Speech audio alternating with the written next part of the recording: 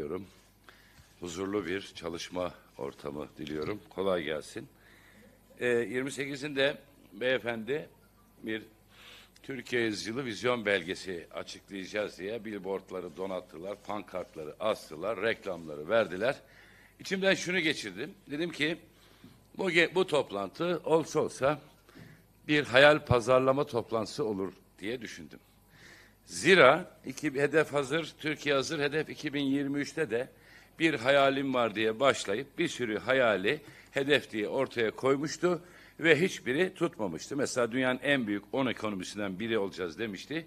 Türkiye'yi küme düşürmüştü. Milli gelir 2 trilyon dolara ulaşmış bir Türkiye hayal ediyorum demişti. 692 milyarda, milyonda kalmıştık. Milyarda. Efendim kişi başına milli geliri 25 bin diye hayal etmiş. Böyle bir Türkiye e, öz, e, hayal etmişti. E, ne oldu? 8 binde kaldı. İhracat yıllık 500 milyar dolar demişti. 242 milyarda kaldı. İşsizliği yüzde beşin altına çekeceğim dedi. İşsizliğin yüzde beşin altına düştüğü bir Türkiye hayal ediyorum dedi. Hedef gösterdi. Yüzde on bir nokta üç oldu. Kap dap kop bitecek dedi. Bitmedi. Tek haneli enflasyon olan bir Türkiye hayal ediyorum dedi. Yüzde seksen üç buçuk şu anda. Şimdi bunu niye söylüyorum? Hayal pazarlamasını öngördüğüm toplantıdan hayal bile çıkmadı. 28 Ekim'deki Türkiye Yüzyılı toplantısından bir vizyon belgesi ortaya koyacağız dedi. İki tane somut şey koydu. Biri dış ticaret hacmi ki çok iddialı değil.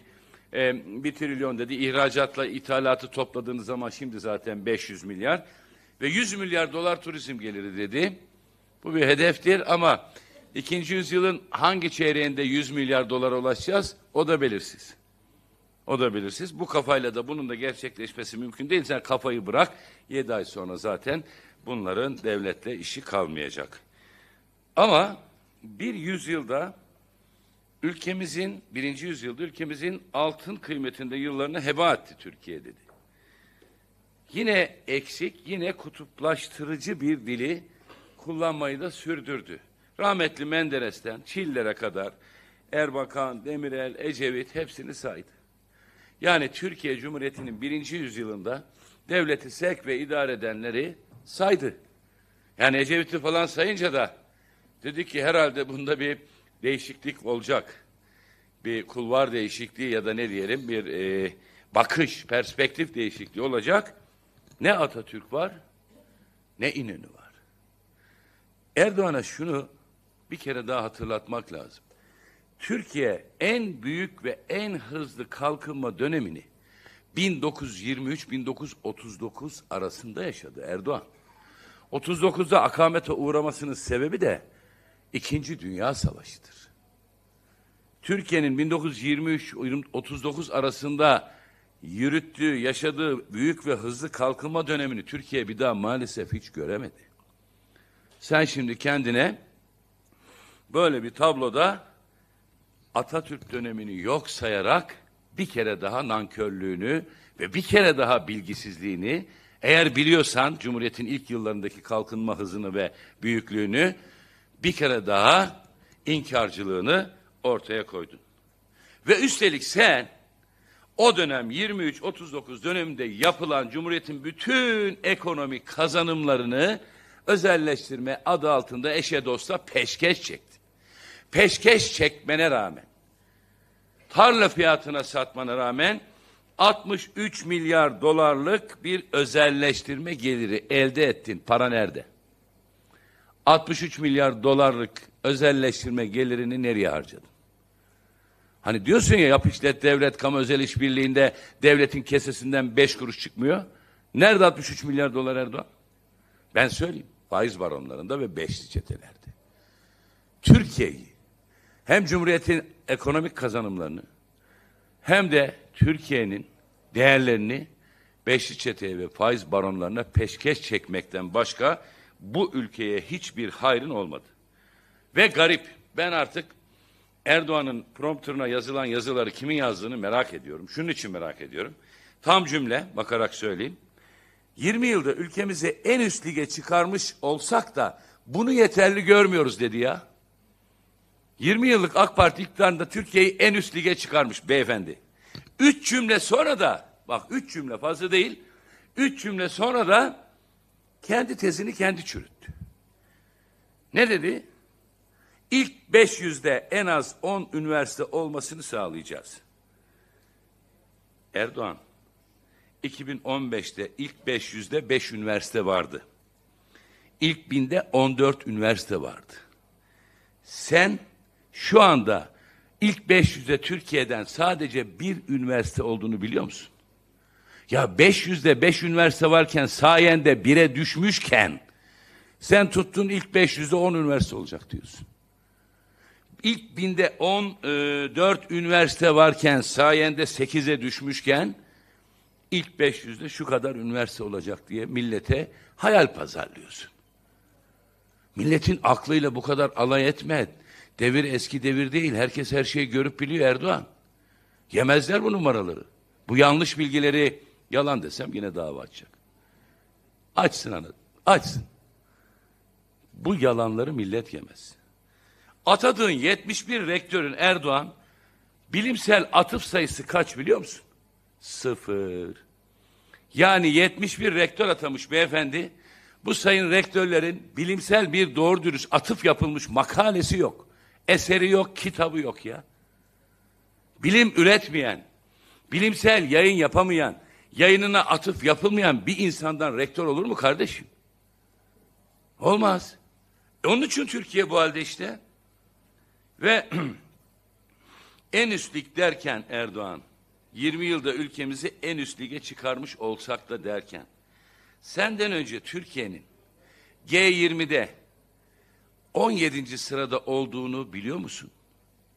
Ve şimdi bunu Türkiye'nin G20'den düştüğünü 21. sırada büyük ekonomik ekonomik hacim olarak 21'e düştüğünü sana kimse söylemedi mi Erdoğan? En, ne en üst ligi ya? Sen küme düşürdün Türkiye'yi, küme. Her alanda küme düşürdün. Şimdi ha bazı başarıları var. Başarıysa başarılar var. Dünya klasmanında birincilik ve beşinciliklerimiz var arkadaşlar. Son 20 yılda. Mesela Dünya Enflasyon Ligi'nde en yüksekten en aşağı doğru dünyanın bütün ülkeleri sıralanmış. Beşinciliği Türkiye almış. Maşallah. Enflasyonu en yüksek beşinci ülkeyiz dünyada. Yalan söylüyorsam namerdim. Çık de ki Engin Altay bu millete yalan söylüyor. Türkiye dünyada enflasyon liginde beşinci değil de bakayım. Bunu sorumlusu herhalde Bay Kemal değil. 20 yıldır Türkiye'yi Bay Kemal yönetmiyor. Ve sefalet endeksi diye bir şey vardır değerli vatandaşlarım. Sefalet endeksi. Uluslararası kuruluşlar hesaplar. Nasıl hesaplar? Enflasyonu ve işsizlik oranını toplar. Bunun ortalaması o ülke için sefalet endeksidir. Erdoğan sefalet endeksinde Türkiye'yi dünya birincisi yaptı. Yalan söylüyorsam namerdim. Arjantin bizim önümüzdeydi. Arjantin birdi, Türkiye ikiydi. Sefalet endeksinde Türkiye şimdi bir. Erdoğan millete hayal pazarlama, yalan satma. Bunlar uluslararası saygın kuruluşların rakamları. Buralarda Türkiye bir tık yükseldiği zaman övünüyorsun bak. Bilmem ne kuruluşu bizim şeyimizi yükseltmiş diye. Bu tabloları da önüne koy bir düşün kardeşim ya. Bir düşün. Basın özgürlüğünde, hukukun üstünlüğü endeksinde, demokrasi endeksinde ilk onu bırak. İlk yüzde değiliz arkadaşlar. Basında 149, hukukun üstünlüğünde 116, demokrasi endeksinde 167 ülke içinde 103. yüz. Yani en iyi birinci aşağıya doğru kötüler sıralanıyor. Biz neredeyse en kötü ülkeler arasındayız. Nerede? Basın özgürlüğünde. Nerede? Hukukun üstünlüğünde. Nerede? Demokrasi endeksinde. Demokrasi diye hava atıp duruyorsun. Demokrasiyi katlettin. Demokrasiye bir deri bir kemik bıraktın sen Erdoğan. Ve eğer zaten basın özgürlüğü, hukukun üstünlüğü ve demokrasi endeksinde Türkiye iyi sıralarda olsa inanın ilk 500'de bir değil 30 üniversitemiz olur. Enflasyonda dünya beşincisi, sefalet endeksinde dünya birincisi olmayız Erdoğan. Kitabı doğru oku. Kitabı ters tutup okumaya çalışma. Olmaz. Kitabı herkes nasıl okuyor? Saç öyle oku. Şimdi ekonomi ve demokrasi ve hukuk liginde küme düşerken bir ligde daha yükseliyoruz. Bir, bir ligde dünyanın merkezi oluyor Türkiye. Üzülerek bunu söylüyorum, üzülerek. Ne bu lig? Kara para ve uyuşturucu liginde Türkiye gerçekten dünyanın merkezi olma yolunda hızla ilerliyor. Bugün demiş ki Bay Kemal PKK'nın şu kadar uyuşturucusuna el koyduk, yakaladık bundan rahatsız. Pes. Pes. Hep söyler. Cumhur İttifakı'nda iki şey var. Birisi vatan bayrak hamaseti, birisi din iman hamaseti. Bay Kemal neye üzülüyor biliyor musun Erdoğan? Ben sana söyleyeyim. Bay Kemal evlatları uyuşturucu bataklığında can çekişen annelerin feryadına üzülüyor. O annelerin gözyaşına üzülüyor. Bay Kemal Türkiye'de uyuşturucunun çok yaygınlaşmasını 10 yaşın altına 10 yaşa 11 yaşa kadar inmesine üzülüyor. Yüz binlerce çocuğumuzun, yüz binlerce ailenin yaşadığı bu ızdıraba üzülüyor. Ve Kara Para Ligi'nde Türkiye gri listede. Bu sene girdik değil mi? FATF, Uluslararası Mali Eylem Görev Gücü Türkiye'yi gri listeye aldı. Niye? Niye gri listede Erdoğan Türkiye? Bu FATF'ın kurucu ülkesidir Türkiye. Kara Para Ligi'nde gri listedeyiz.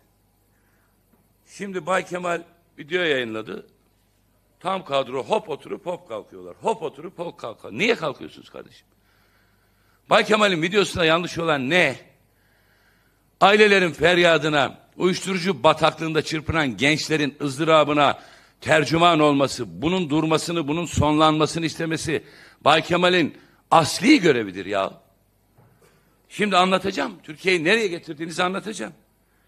Ama kahraman polisimizi ve jandarmamızı kendinize kalkan yaparak da kusurlarınızı örtemezsiniz. Kusurlarınızı kahraman polisimizin en başındaki memura, kahraman jandarmamızın en başındaki komutanına tweet attırarak örtemezsiniz. Bay Kemal polis demedi Erdoğan. Bay Kemal jandarma demedi. Hiç demedi. Ne dedi? Fotoroman Süleyman dedi. Bütün suç örgütünün elebaşlarıyla resmin var dedi. Cari açığı kapatmak için bu işlere göz yumuyorsunuz dedi. Emniyet Genel Müdürü, Jandarma Genel Komutanı göz yumuyor demedi Bay Kemal. Fotoraman sülü göz yumuyor dedi. Siz şimdi bunların arkasına saklanarak bunları kendinize kalkan yaparak kamu vicdanında aklanacağınızı mı zannediyorsunuz? Böyle bir şey yok. Şimdi uyuşturucu baronunun parasını Türkiye'ye davet ederseniz baronu da davet etmiş olursunuz. Nitekim öyle yaptınız. Eskiden Türkiye, evet bu yeni bir şey değil. Türkiye eskiden bu konuda şöyle bilinen, şöyle anılan bir ülkeydi. Doğudan, Türkiye'nin güneydoğusundan, doğu sınırından, güney sınırından uyuşturucu Türkiye üzerinden karayoluyla, deniz yoluyla, hava yoluyla ben onu bilmem Avrupa'ya, Amerika'ya gider idi. Yani eskiden uyuşturucunun, Türkiye uyuşturucunun transit geçtiği bir yerin adı idi. Şimdi Türkiye uyuşturucu pazarı olan bir yerin adı. Bunu siz yaptınız. Nasıl yaptığınızı anlatacağım. Şu saati çıkarayım saati şey etmeyelim. Sizi çok yormak istemiyoruz. Durmuyor. Şimdi uyuşturucu ve kara para bir yere konarsa mafya için orası çekim merkezi olur. Bir yerde uyuşturucu varsa, kara para varsa artık orada mafya da vardır. Bu işin olmazsa olmazı. Nitekim mafya da gelir Türkiye'ye yerleşir. Yerleşti. Yerleştirdiniz çok şükür. Çok şükür yerleştirdiniz. Türkiye uyuşturucu baronlarının ve mafyanın hesaplaşma arenasına dönüştü. Ya bunu görmüyor musunuz siz? Bayrak, vatan, din, iman edebiyatı yapmaktan Türkiye gerçeklerini görmez hale gelmişsiniz. Yok görüyorsunuz. Görmemeniz mümkün değil. Bazılarıyla çok iyisiniz çünkü. Bu tıpkı şuna benziyor. Ben hiç müdahale uyuşturucuyla, kara parayla mücadele etmiyorlar demem. Tıpkı FETÖ'yle mücadele gibi bir kafayla mücadele ediliyor. FETÖ'yle mücadelede AK Parti ritüeli nedir? Paran varsa, AK Parti'nin üst yönetiminde yakının varsa, FETÖ terör örgütünün hangi kademesinde olursan ol, paran varsa, AK Parti'de dostun varsa dışarıdasın, korkma. Korkma. Paran yoksa, AK Parti üst yönetiminde dostun yoksa cezaevindesin. Vallahi uyuşturucu işi de böyle ya. AK Parti üst yönetiminde İçişleri Bakanı'yla ilişkisi olanlar koruyup kullanıyor. Bakan kendi demedi mi Sezgin Baran Korkmaz'ı bir devlet operasyonuyla biz kaçırdık, Amerika'yı boşa düşürdük. Ne oldu? Sezgin Baran Korkmaz'ın mal varlığına tedbir kararı koyulmuştu, kaldırttın. Yurt dışına çıkış yasağı vardı, kaldırttın. Biz bunu sorunca bu devlet operasyonu, Amerika'yı boşa düşürdük dedin. Sezgin Baran Korkmaz Amerika'da. Amerika'da. Niye? Niye yaptın? Sen Sezgin Baran Korkmaz'ın uçağına binersen ona yaptırım uygulayamazsın. Soylu. Sonra bunu devlet operasyonu diye süsleyip suçunu anlatamazsın. Yemez kimse. Şimdi Sırbistan'da kırmızı bültenler anan ülkenin en kanlı suç örgütü lideri Vukotić İstanbul'da öldürüldü. Erdoğan diyor diye kirli bir senaryo CHP'nin senaryonun başrol oyuncusu CHP diye. Erdoğan şimdi bu, bu senaryo bir senaryoda ben sana söyleyeyim. CHP kirli senaryoların başrolünde değil ama bir kirli senaryo anlatacağım şimdi. Bakalım bunun başrolünde kim var onu da sen belirle. Vukotić İstanbul'da öldürüldü. Kim? Kanlı, eli kanlı, kırmızı bültenle aranan bir suç örgütü lideri. Öldüren bizim poli, kahraman polisimiz falan değil.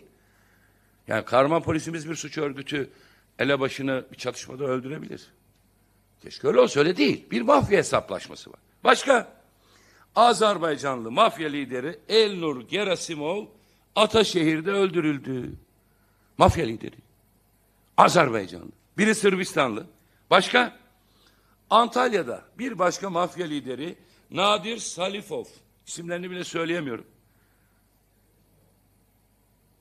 Öldürüldü.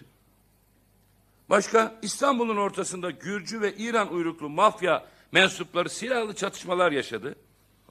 Başka Afgan Afgan uyuşturucu baronları bir uyuşturucu pazarına dönen Türkiye'nin bu pazarında merkez olan İstanbul'un İstanbul'da gerçekten dükalık kuruyorlar. Uyuşturucu dükalığı kuruyorlar. Kim? Afgan uyuşturucu baronları. Soruyorum Erdoğan. Soruyorum Süleyman Soylu. Orta Doğu'nun en büyük uyuşturucu baronu kim? Onlar cevap vermez. Ben vereyim. Zindaşti. Zindaşti nerede? Zindaşti'yi salıveren hakimle ilgili Türkiye ne yapıyor? İsmini vermeyeyim hakim. Zindaşlı hakim salıverdi. Üç buçuk saat sonra tekrar yakalama kararı çıktı. Ne tesadüf ki bu süreçle ilgili üç buçuk milyon dolar rüşvet hikayesi var. Şu yargının, şu ülkenin geldiği yere bakın. Orta Doğu'nun en büyük uyuşturucu baronunu cezaevinden çıkarttırıp Türkiye'den yollayan bir kafa mı uyuşturucuyla mücadele edecek? Olabilir mi böyle bir şey? Ve Burhan Kuzu'nun ölümüyle ilgili bir sır perdesi var. Neden? Neden bu konuda kimse Burhan Kuzu'nun doğal yollardan öldüğüne inanmıyor? Hatta bir tık ileri götürelim. Burhan Kuzu'nun yaşadığını iddia edenler bile var. Bu ilişkileri, bu kirli ilişkileri şeffaf bir devlette, demokrasinin tıkır tıkır işlediği bir devlette yapamazsınız. Bu ilişkilerin hiçbiri olmaz. Ve bu kişiler ülkeye nasıl girdi? Kim yardım etti? Kim bunlar? Sanger Ahmedi İstanbul'da lüks otele yerleşip Boğaz'ın keyfini sürdü. Boğaz'da tekne turu yapıyor. Almanya'dan haraç ve uyuşturucu ticaretine adı karıştığı için sınır dışı edildi. Erdoğan, belki Süleyman Bey sana bu bilgileri vermiyordur, ben vereyim. Türkiye İçişleri Bakanlığı'nın uyuşturucu ve haraç ve uyuşturucu ticaretine adı karıştığı için sınır dışı edilen Afgan kökenli Sangar Ahmedi'nin İstanbul'a gelip lüks otelde kaldığını, Boğaz'da yat tekne turu yaptığını bilmeyen bir İçişleri Bakanlığı olabilir mi? Bu, bu, işte bu. Bugün İstanbul'un Sultanbeyli'sinden Bağcılarına kadar, Beşiktaş'ından Arnavutköy'üne kadar, Türkiye'nin her yerinde gençlerimizi uyuşturucu bataklığında perişan edenler bu adamlar. Bu adamları Türkiye'de ağırlayanlar bunlar işte. Erdoğan'ın avanesi. Bunun çıkıp hesabının verilmesi gerekmiyor mu? Herkesin içi rahat olsun. Biz bunların hesabını soracağız. Ve yakalanan uyuşturucu, yakalanan satıcı, kullanıcı artıyor diye el ovuşturuyoruz. El ovuşturuyoruz. Ya artıyor ama artmakla bitmiyor bu. Bu sene 5 bin, seneye 10 bin. Seneye bunlar kalırsa yönetimde 20 bin olacak. Bu aynı zamanda Türkiye'de pazarın da genişlediğini, kullananların sayısının da çok orantı dışı arttığının bir işareti. Burada rakam vardı. Şimdi Erdoğan şu kadar yakaladık. Peki ben şu kadar bugün de söyledi. Şu kadar bilmem işte ton neyse bir şeyler yakaladık. Erdoğan ne kadar yakalamadı? Söyledim. Bir daha söyleyeyim. Sizin bu işe bakışınız tıpkı FETÖ'ye bakışınız gibi. Çok paralı olanları şöyle himayemize alalım, paralarını da çöküp, parası olmayanları da tutuklayalım, şov yapalım. Böyle olmaz. Bak OECD raporu, FAT, Türkiye'yi kara listeye, gri listeye almış. Bu listede hangi ülkeler var biliyor musunuz? Söyleyeyim hızlı. Arnavutluk, Barbados, Burkina Faso, Kamboçya, Kayman Adaları, Demokratik Kongo Cumhuriyeti, Cebeli Tarık, Haiti, Jamaika, Ürdün, Mali, Fas, Mozambik, Panama, Panama, Filipinler, Senegal, Güney Sudan, Suriye, Tanzanya, Türkiye, Uganda, Birleşik Arap Emirlikleri, Yemen. Türkiye'yi koyduğunuz lige bak ya. Ayıp ya. Al. Avrupa Uyuşturucu Raporu Erdoğan. Trendler ve gelişmeler. Başlığını gösteriyorum ki merak edersin bu raporda ne yazıyor diye bir bakarsın diye. Avrupa Birliği raporu. Birleşmiş Milletler. Al Erdoğan. Şu fotoğrafları adamların izliyor bizi. Şu raporlara bir bak ya. Bir bak da Türkiye uyuşturucuyla mücadele mi ediyor? Göz mü yumuyor? Transit geçiş ülkesi olan Türkiye nasıl uyuşturucu pazar oldu bir bak. Bırak hadi bunlar da diyeceksin ki şimdi dış güçler, Birleşmiş Milletler, Avrupa Birliği, UNESCO. Al. Narko, Emniyet Genel Müdürlüğü'nün raporu Erdoğan. Al. Erdoğan bunu oku. Bu bir başarı hikayesi falan değil. Rakamları doğru telaffuz edersen. Mesela burada diyor ki 2019'da e, 220 bin ton, 2020'de 231 ton, 2021'de 294 bin ton. Artıyor. Artıyor. Sen istediğin kadar yakala. Yakalayamadın bunun yüzde doksanıdır. Ya, ya bunun on katıdır. Metamfetamin bir facia genel başkanımız işaret etti. 2019'da 1042 kilo, 2020'de 4000 kilo, 2020'de 5000. 2022'de bu inanın 7000 olacak. Bunlar kalırsa 2023'te 10.000 olacak. Bu kafayla bu olmaz. Bu şu demek aynı. Metamfetamin söylemesi bile zor. Türkiye'de olağanüstü bir yaygınlık e, salgın içerisinde. Buradan Türkiye'yi kurtarmak zorundayız. Yakala, sokakta yakala önemli değil. Sen bunun baronunun, bunun baronunun, bunu Türkiye'ye sokanın, bunun sahibinin üstüne gitmedikten sonra sokaktaki satıcıyı, ayakçıyı yakalasan bana ne? Neredendi bir Türkiye Mersin limanına Kol Kolombiya'dan Türkiye adresli konteynerler Türkiye'deki bunun alıcısını yakaladın mı onu söylesen. Kaç ton kokainin Türkiye'deki alıcısını yakaladın mı? Ve buradan geliyoruz tabii Cari açığı kapatmak için kara para aklıyorsunuz dedi Bay Kemal. Hopladılar hopladılar. Şimdi Merkez Bankası rakamlarıyla bunu ispatlayacağım. 2008-2022 arasında maalesef maalesef Türkiye Büyük Millet Meclisi'nde 8 defa varlık barışı kanunu yapıldı. 8 defa. Ve hiç unutmam en son kanun teklifinde bir torbaya koydular bunu. Abdüllatif Şener milletvekilimiz kıyamet kopardı. Aniden bunu okuyunca işi de bilen bir mevzuat yönüyle. Ve Abdüllatif Şener dedi ki konusu suç olan parayı aklıyorsunuz. Kokain, uyuşturucu, kadın ticareti ve teröre dayalı suçları ve buralardan gelen paraları aklıyorsunuz. Bu olmaz, kabul edilebilir değil dedi. Ne oldu biliyor musunuz? AK Parti grubu kürsüdeki Abdüllatif Şener'in üstüne yürüdü ya. Üstüne yürüdü. Ne dedi Abdüllatif Şener? Bu paraları masak incelemiyor ya da inceleyemiyor. Masa deniyor ki elleme. Elleme. 2016'da çıkarılan bu varlık barışında ne oldu biliyor musunuz? Bir madde eklendi oraya. Bu paralar hakkında araştırma, soruşturma, kovuşturma, vergi incelemesi yapılamaz diye kanuna AK Parti koydu. Niye? Ben söyleyeyim. Şimdi bu tablo arkadaşlar Merkez Bankası dur okuyayım şuradan. Ödemeler dengesi istatistikleridir. Bu tablo çok önemli. Bakın burası hakikaten çok önemli. Şurada eğer yakın çekilebilirse 2008, 2011, 2013, 2016, 2018, 19, 20 ve 2022'de varlık barışı kanunları geldi. Çıktı. AK Parti öncesinde e, buna biz şey diyoruz net hata noksan dediğimiz kaynağı belli olmayan para var yani şu Türkiye bu ara bol giren. AK Parti öncesinde net hata noksan eksi 2 milyon 2 milyar 157 bin. Yok. Varlık barışıyla başlamış bu arkadaşlar. Net hata noksan dediğiniz hikaye varlık barışıyla başlıyor. Bakın mesela 2007'de eksi 2 milyon 600 2 milyar mı?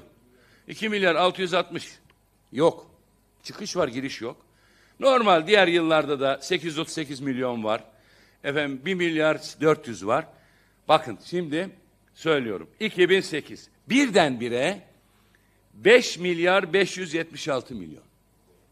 Dolar. Ha bunlar bir de dolar ha. Yanlış söyledim değil mi? 2012'deki varlık barışında 12 milyar 90 milyon dolar. 2013'te pek girmemiş neyse o ara. 968 milyon dolarda kalmış. Ve 2016 10 milyar 292 milyar. Evet ekonomi literatürüne göre bu, bu paralar cari açı aşağı çeker. Kemal Bey'in, Bay Kemal'in dediği de o işte. Devam edelim. 2018 22 milyar 710 milyon dolar. Ne parası bu? Masak inceleyemiyor. Bu paralarla ilgili soruşturma, kovuşturma, vergi incelemesi yapılamıyor. Vergiden de muaf. Ve 2000 pandemi döneminde durmuşuz. Ve 2022 Ocak, Ağustos. Ocak, Ağustos. Bu yıl Ocak, Ağustos. 28 milyar 307 milyon dolar Merkez Bankası envanterinde net hata noksan görülüyor. İşte bu kara para, kirli para ne olduğu belli olmayan para. Yani kaynağı belli olmayan döviz girişi. Bu belge Merkez Bankası'nın internette bu var mı? İnternet hiç Merkez Bankası'na gitmeyin. İnternetten Merkez Bankası'na girin şimdi silebilirler bunu ama silemezler herhalde o kadar değil. Devlet o kadar çürütemezler. İnternetten Merkez Bankası'na girin bunu görürsünüz. Toplamı söyleyelim. Bu danışmanlar bu işler için var. 82 milyar 618 milyon dolar para 82 milyar 618 milyon dolar para 2003 2022 arasında net hata noksan kalemi üzerinden Türkiye'ye girmiş. Girmiş. Kaynağı belli olmayan para. Bay Kemal de diyor ki bunu siz şeffaf bir şekilde açıklamadığınız sürece ben bunun bir kısmının, büyük kısmının, belki tamamının uyuşturucu parası, fuhuş, kadın ticareti üzerinden, insan ticareti üzerinden elde edilen para olduğuna inanırım. Niye bunu söylüyoruz? Şunun için söylüyoruz. Biraz önce saydım. Uluslararası mafya mensupları Türkiye'de birbirlerine kurşun sıkıyor. Niye Türkiye'de sıkıyor? Demin saydım Azerbaycanlısından Afganlısına, İranlısından Gürcistanlısına, Sırbistanlısından Rusuna kadar. Bunlar niye Türkiye'de kardeşim? İşte bu Türkiye'ye giren 82 milyar doların peşinde. Bu bir pazar oluşmuş. Ondan sonra vay şöyleydi böyleydi. Bay Kemal'i eserek gürleyerek korkutamazsınız. Dava açacağız demişler. Açmazsanız namertsiniz. Uyuşturucuyla mücadelesizliği mahkeme koridorların, mahkemelerde nasıl del, belgelerle, delillerle, emekli polislerin ifadeleriyle ortaya koyacağımızı da herkes görür. Polis Akademisi'nde AK Parti vizyon belgesi toplantısı için bestelenmiş şarkı çalındı ya. Pes, yuh. Niye yuh? Ya devletin polisi kardeşim sen AK Parti'nin seçim müziğini polis akademisi töreninde nasıl çalarsın ya? Ondan sonra Emniyet Genel Müdürü, Jandarma Genel Komutanı ana muhalefet liderine tweet atar. Atar da bu polis devletin polisi mi olacak? Erdoğan'ın polisi mi olacak? Sakın. Bir şey yanlış anlaşılmış. Bu millet FETÖ'nün polisinden, askerinden çekti kardeşim. Polis ve asker devletindir. Şahısların olamaz, şahıslara bağlı çalışamaz. FETÖ'nün polisi ve askerinin yaptığını unutmadık. Şimdi aynı şey muhalefeti sindirmek bakımından, muhalefeti baskılamak bakımından Erdoğan'ın polisi mi olacağız? Sakın. Ben polis teşkilatımızın, jandarma teşkilatımızın, Türk Silahlı Kuvvetlerimizin ferasetine güveniyorum. Böyle bir şey yok. Biz Soylu'ya Suç İşleri Bakanı diyoruz. İçişleri Bakanlığı'nın Suç İşleri Bakanlığı'na dönüştürülmesine karşı tüm bakanlık mensuplarını duyarlı olmaya, devletin kolluğu olduğunu unutmamaya çağırıyoruz. Böyle bir şey olamaz. AK Partilinin de CHP'linin de. Velhasıl bütün milletin can ve mal güvenliği size emanet kardeşim. Kahraman polisimiz, kahraman jandarmamız. Süleyman Soylu'nun can ve mal güvenliği de size teslim. Engin Altay'ınki de size teslim. Sizin göreviniz bu. Sakın kanunsuz emir dinlemeyin. Biz Suç İşleri Bakanı diyoruz ama Suç İşleri Bakanlığı demiyoruz. Biz Süleyman Soylu'yu hedef alıyoruz. Biz Erdoğan'ı hedef alırız. Devleti hedef almayız. Devlet ayrı bir şey. Devlet bizim 85 milyonun. Hasbel kadar başında Erdoğan var. Devleti de çok büyük tahribata uğrattı. Bunları düzelteceğiz. Hiç kimsenin şüphesi olmasın. Genel başkana ses kaydı çıkarsa ne olur diyor. Soylu. Bir vatansever diyor mahkemeye ses kaydı yollarsa ne olur? O ses kayıtlarının sende olduğunu biliyoruz. Yollamazsan namersin. Muhalefeti muhalefeti dinlediğinin muhalefetin Cumhuriyet Halk Partili ve diğer muhalefet partilerinin yöneticilerinin ve milletvekillerinin dinlendiğinin açık bir itirafıdır. Bir skandaldır. Ve vakti zamanı geldiğinde bu işlerin hesabı sorulur. Değerli arkadaşlar şöyle bitirelim. Amasya faciası kaza demiyoruz ile ilgili bilirkişi ön raporu çıktı. Bilirkişi ön raporu çıktı.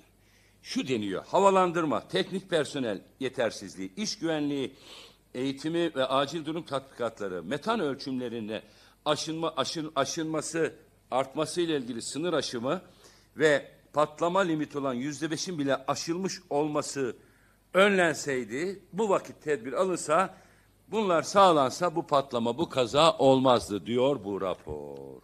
Tamam. Şimdi soru şu.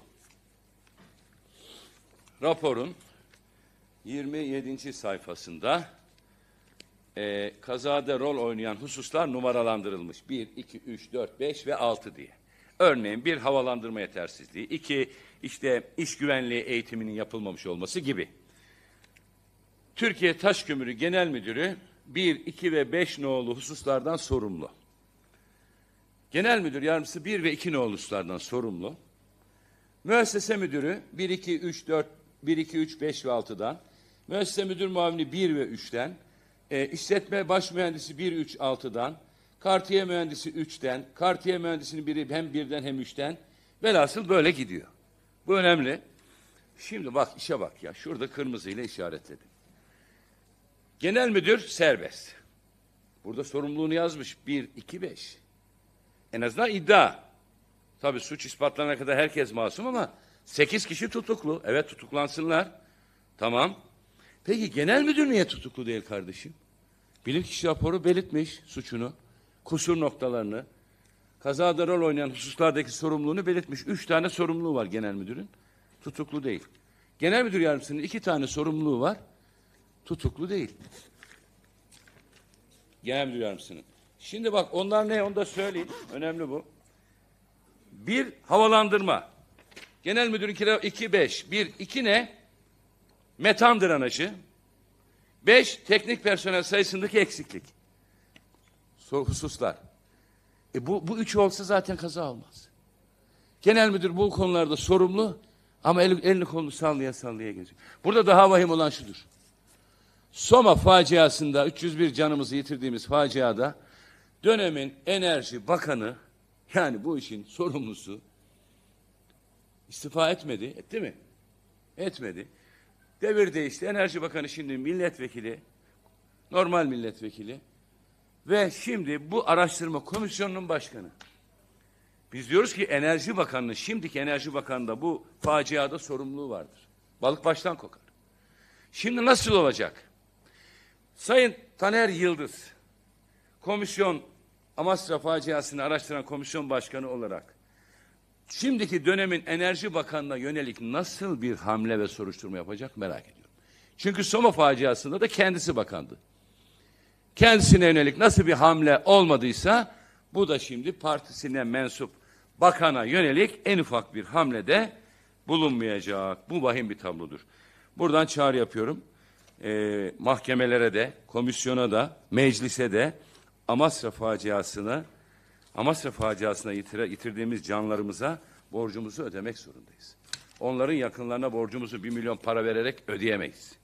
Onların ölümüne sebep olan e, unsurların failleriyle de yüzleşmeli ve hesaplaşmalıyız değerli arkadaşlar diyorum. Biraz uzun oldu özür diliyorum ve ben tamamlıyorum. Sizde bir şey varsa bakalım. Evet.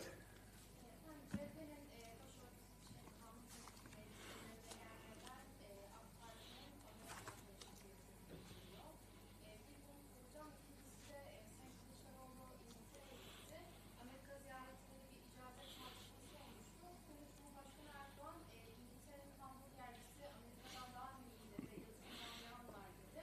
E, bir de bir yerli. Bizim başörtüsüyle ilgili kanun teklifimiz çok açık. Kıyafetle ilgili, kadının özgürlüğüyle ilgili bir teklif olarak düşünmek lazım. 4 Ekim'de verdik. AK Parti kabul etse 10 Ekim'de mecliste kanunlaşırdı. Şimdi bu işlerin tartışması bile olmazdı. AK Parti'nin teklifini henüz biz görmedik. Sanıyorum MHP'de görmemiş. Gördüğümüz zaman üstünde konuşuruz. Genel Başkanımızın bu ziyaretleri Erdoğan çatlasa da patlasa da devam edecek.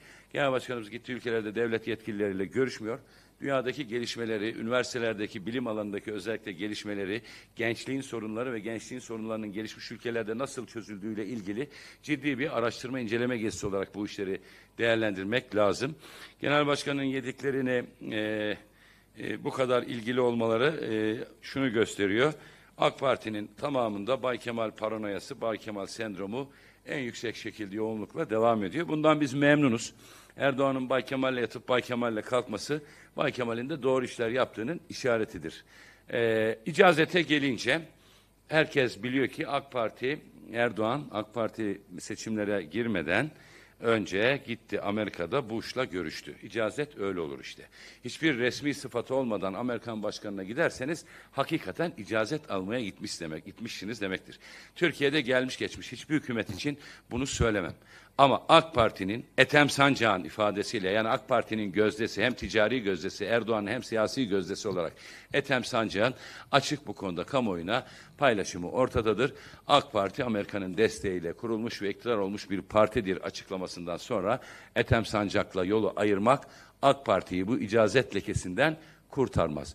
Yurt dışından icazet alacak bir parti her parti olabilir olmamalı ama son parti bile değil. Cumhuriyet Halk Partisi icazet alarak kurulmuş bir parti olmadığı için iktidara gelmek noktasında da kimsenin icazetine ihtiyacı yoktur. Biz icazeti Erzurum'dan, Sivas'tan, efendim Ankara'dan, İstanbul'dan, Hakkari'den, Edirne'den, Sinop'tan, Antalya'dan velhasıl 85 milyondan 780 bin 500 kilometre karelik coğrafyamızda yaşayan bütün vatandaşlarımızdan zaten 7 ay sonra alacağız. Nokta. Evet.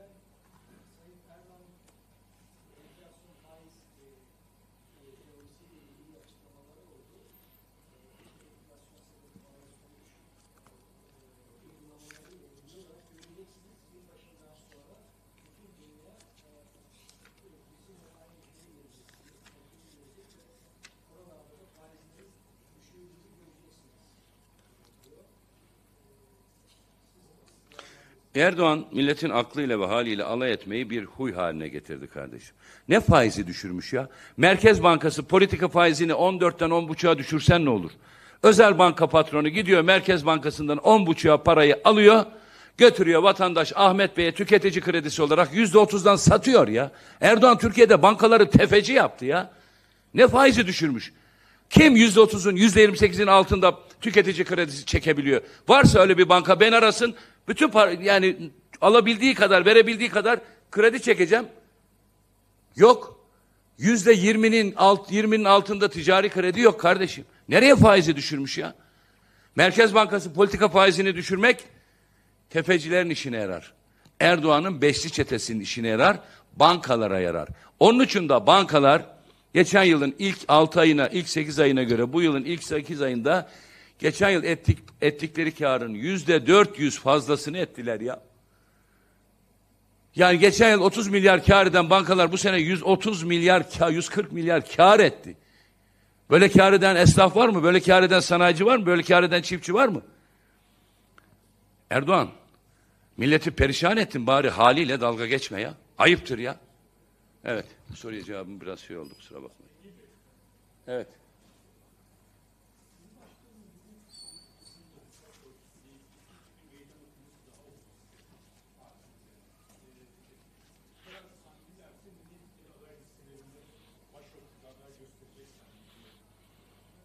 Biz milletvekili belirlemesinde insanların yaşam tarzıyla, etnik aidiyetleriyle, inanç aidiyetleriyle meşgul olmuyoruz.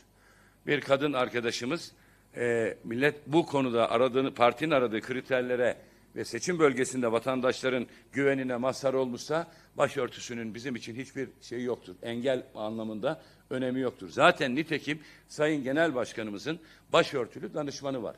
Parti meclisinde kurultayımızca seçilmiş başörtüsü e, ile çalış e, yaşayan, iş, e, hayatını sürdüren arkadaşımız var. Cumhuriyet Halk Partisi Türkiye'de başörtüsü meselesiyle ilgili samimiyetini Türkiye'ye ispat etmiştir. Kanun teklifimiz de bunun bir göstergesidir. AK Parti'nin kara propagandasına karşı 4 Ekim'de verdiğimiz kanun teklifi Cumhuriyet Halk Partisi'nin bu konudaki samimiyetini net bir şekilde ortaya koymuştur arkadaşlar. Ee, seçime 7 ay kala anayasa ref- seçime 7 ay kala referanduma gidilir mi ya? Temel hak ve özgürlükler referandumun konusu olamaz nokta. Kanun konusudur. Verdiğimiz kanun teklifi bu işleri aslında zaten çözülmüş ve bitmiş olan bu işi ile ilgili Cumhuriyet Halk Partisi'nin samimiyetinin de artık kimse tarafından sınanmasını, ölçülmesine imkan vermeyecek bir tekliftir diye. Olmaz.